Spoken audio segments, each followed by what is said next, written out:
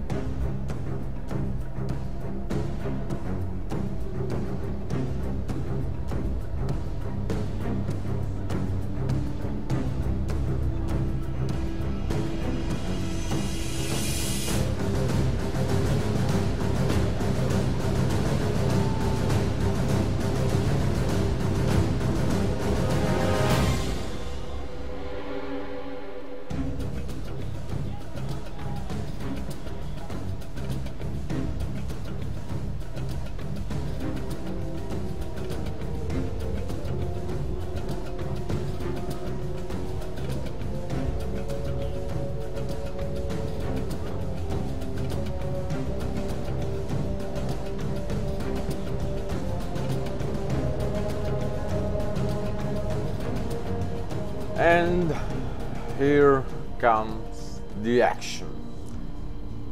First thing, I have started to send my spear levies, the most cheapest unit I have.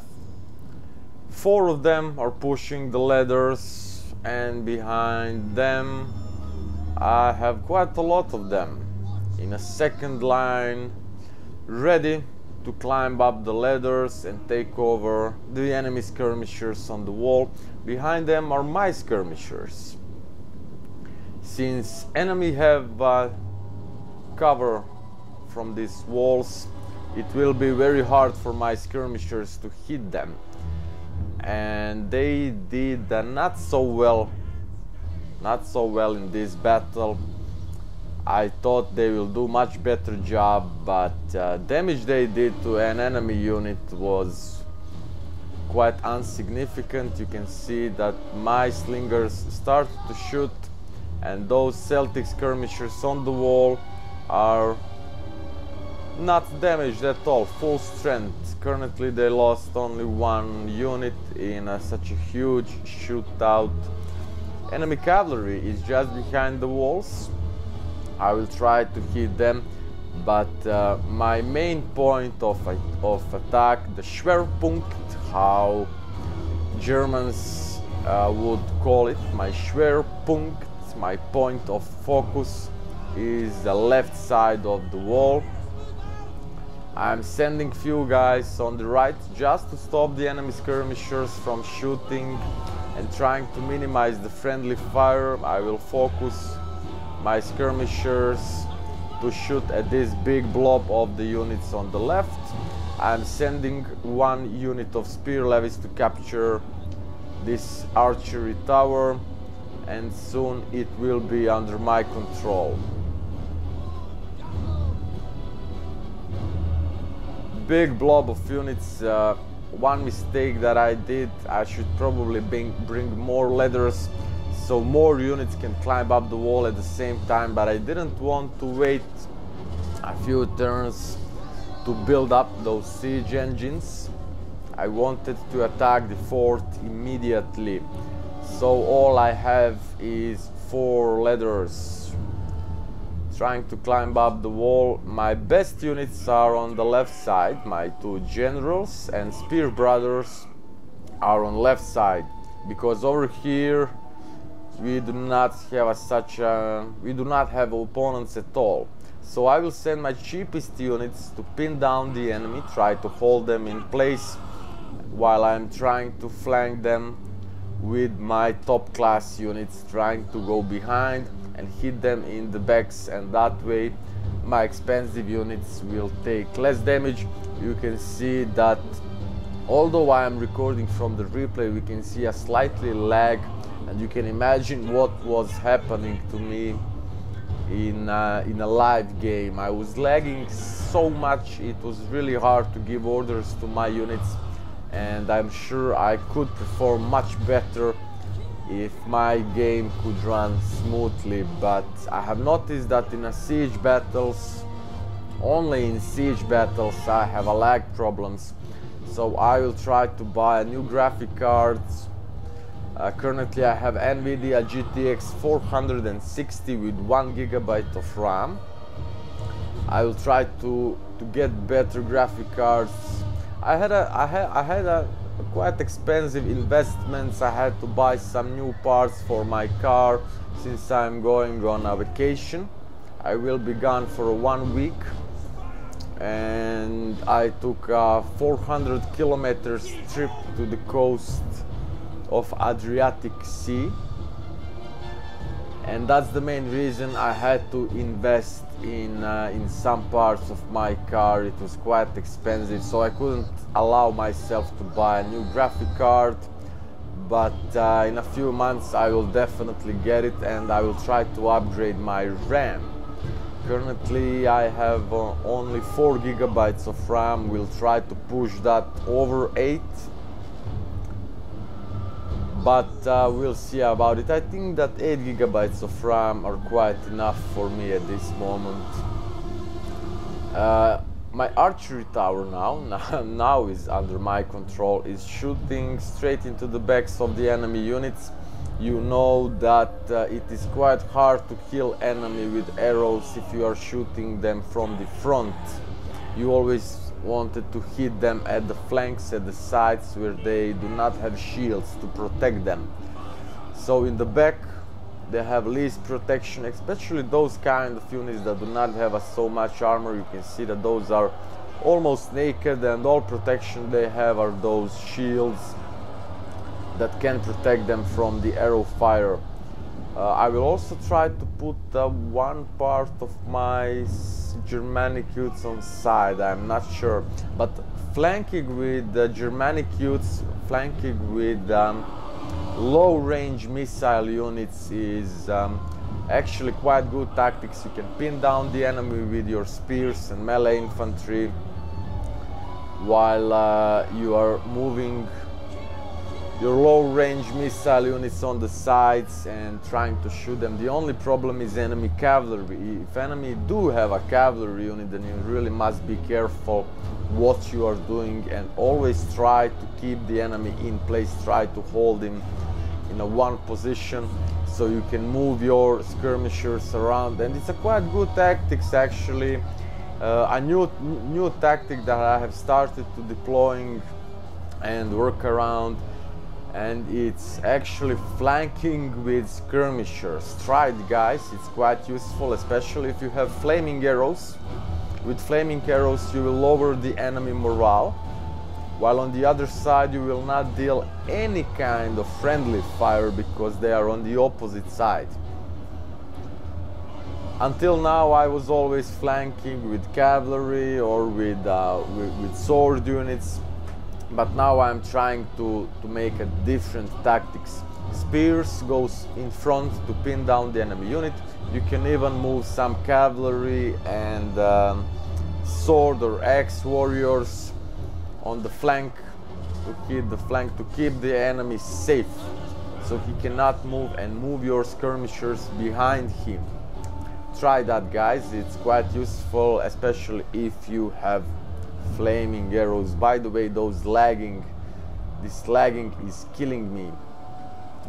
The the only big problem for me was those Celtic skirmishers from my opponent and I think that they have um, some some slingers I'm really not sure because from here look at this they are shooting straight into my flanking force straight to, straight into the backs of them and I have realized that I'm trying to push you can see how I'm positioning my guys uh, the middle over here is completely routed you can only see my units now and what I'm trying to do is to position my melee infantry uh, to confront the enemy skirmishers.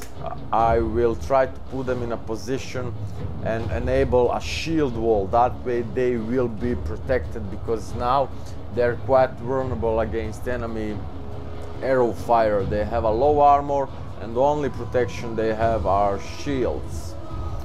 But since I was lagging quite a lot, it was hard for me even to use the unit abilities like a shield wall you will see how slow it will go I'm using counter cavalry tactics over here because uh, there is still one unit of noble horse and standing quite well. I wonder how many kills they did. Let's check it out. Oh they're they're they're they routed. I cannot check it out. Enemy general is also falling down. You can see that I am deploying a shield wall. And I, I, I wasn't able to do it with all units at, at once only because of the lag. So I was deploying a shield wall on units one by one. That way they have a protection from enemy archers. And you may ask yourself why I didn't rush them why I didn't attack them. They are in a skirmish mode so they are running away. They are much faster than my spear infantry so they are able to run away from me and drag me into a position where they have archery towers. You can see that we have one over here one over here one over here. Quite a lot of archery towers from my enemy and I didn't want to chase enemy skirmishers into a trap where I will lose even most men. So I'm positioning all my melee infantry into a tight formation with a shield wall so they can protect them and we'll try to use my own Germanic slingers and my own Germanic youths to shoot them down and get rid of them while on the other side I will send one cheap unit of spear levies to capture the victory point and trying to win the battle that way. All the enemy units are now gone and only problem I have are those Celtic skirmishers. As I said, I do not want to chase them because they are faster than me and they will only drag me into a trap of archery towers that they have in the background.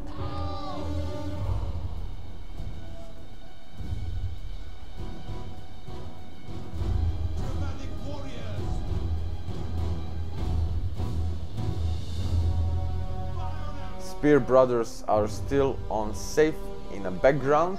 That's the main reason I keep them behind. I didn't want them to take the damage. They was only a reserve unit. You can see that this unit do not have a shield wall enabled yet. That's because I was lagging. Only two units have a shield wall now. You can see that by this green green circle around them.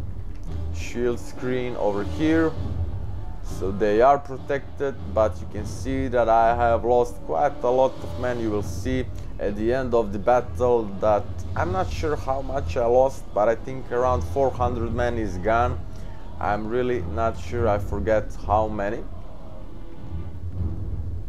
Actually lag was the only problem I had. I think that victory point is now under my control and all I need to do is wait for a countdown timer to go to zero those guys probably ran out of ammunition and trying to chase them one mistake I did and uh, one thing that I could do and I will do it but too late I'm doing it now I think I'm doing it now, yeah. I'm sending one cheap units of spear levy to chase down the enemy skirmishers. You can see that they are in a skirmish mode. That way they are starting to run and when they are running they cannot shoot. So my guys are safe. Quite good trick and I'm risking only one unit. I could do, I should do that much earlier. So send one unit of, one cheap unit one cheap melee unit to chase down the enemy skirmishers that way they will try to pull back and um, they will be vulnerable to your to your skirmishers since they have a low armor and their backs are quite vulnerable to the archers. They will die much faster and they will rout much faster while on the other side they cannot damage your guys because they are running away. That's it guys. Uh, feel free to continue the watching. Uh, the recording after this replay is quite short so you probably have uh, three or four minutes of watching.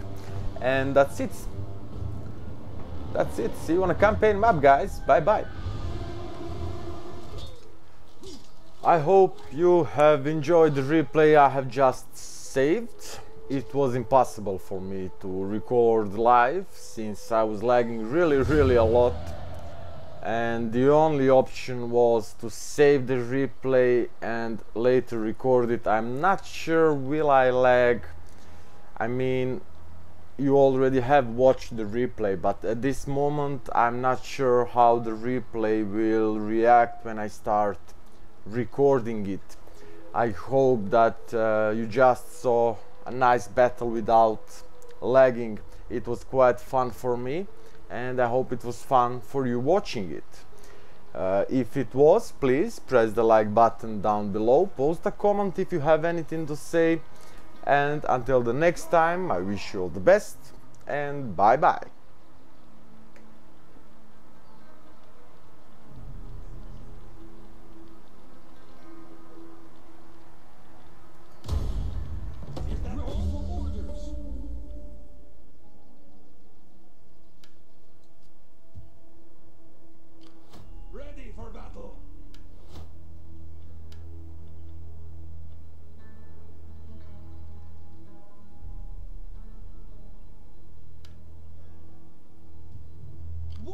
years old